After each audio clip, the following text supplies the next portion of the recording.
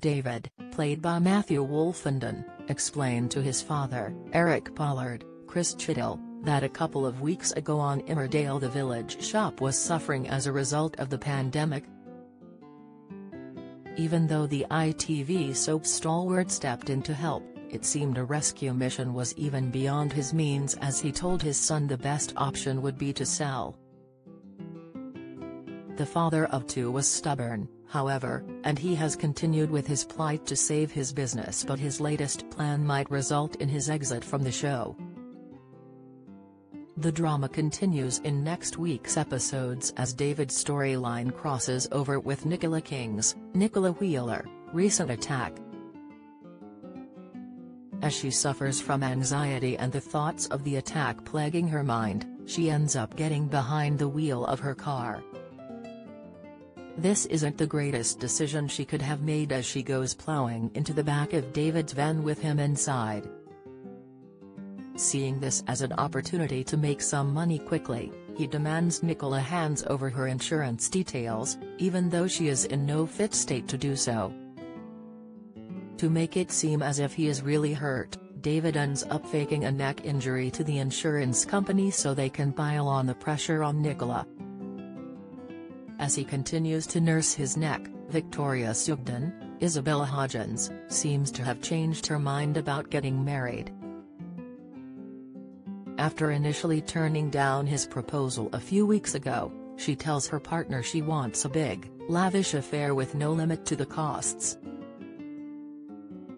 It seems he has also convinced her his neck is painful and he is pleased when his lies stand him in good stead with her.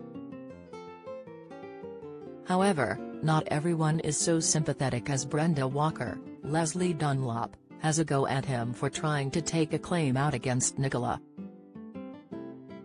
She reminds him it was a minor collision and there wasn't much damage done at all to him or the vehicle. It's not too long before Victoria gets wind of how back David's finances are when Priya Sharma, Fiona Wade, tells her he has been missing child maintenance payments. Victoria is likely to grill her partner about their finances and whether he is actually nursing a neck injury or not. David could explain it is their only way to get some money and although his partner would disapprove, he would go ahead with the claim. As the money hits his bank account, the shopkeeper could be quite pleased to know he has managed to pull the wool over the authorities' eyes. Unfortunately for him, Victoria could decide she's not going to stick by a fraudster and report him to the police over his claim. When they arrive at the shop, David could be confused, not realizing his partner has betrayed him by calling the authorities.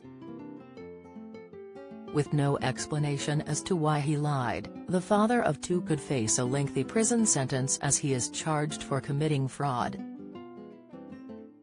This could lead to David's permanent exit from the show as not many characters are still involved with the drama in the village once they are jailed. How will the rest of the residents of Emmerdale react when they discover David was using Nicola when she was at her most vulnerable? And where will this leave his relationship with Victoria as another one of her partners is arrested for a crime, leaving her to fend for herself? How well do you know your British soaps? How many times has Ian Beale been married in EastEnders?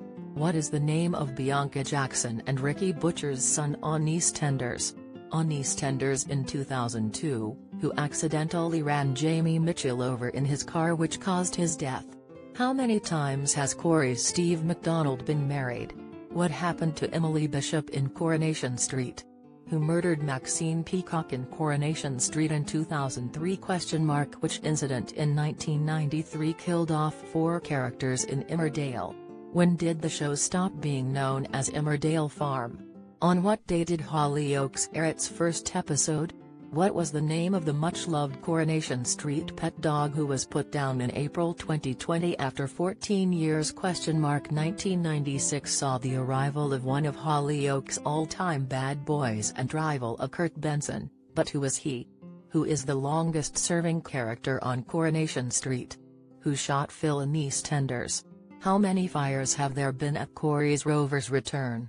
Get out of my pub, you're no soaps fan. You're either too young to remember the big lines or have better things to do on weekday evenings. Casual viewer you watch them sometimes so you kinda know what's been going on. Die hard fan you love watching the soaps so much. Your entire week is planned around when they air even though he has been on the show for over 15 years, the actor who plays David, Matthew, has admitted he doesn't watch the show. The soap star said, Charlie, Webb, loves the show and shall watch every episode. I love the show but I can't watch it myself. I hate it and I have to fast forward through my parts. It's been about six years since I last watched myself. I found I was picking holes in my performance and going into work and feeling miserable and it was affecting my work. It's not that I'd done anything bad, I'm just one of those people who pick holes in myself, so I had to stop watching myself to enjoy going to work again. If they keep employing me, they obviously like me, explained in an interview with OK! magazine. It seems Matthew could keep playing the role of David for some time yet, meaning he might get a shorter prison sentence to give the actor some time off.